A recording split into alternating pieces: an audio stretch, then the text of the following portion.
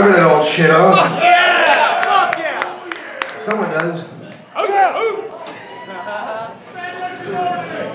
Spandex enormity.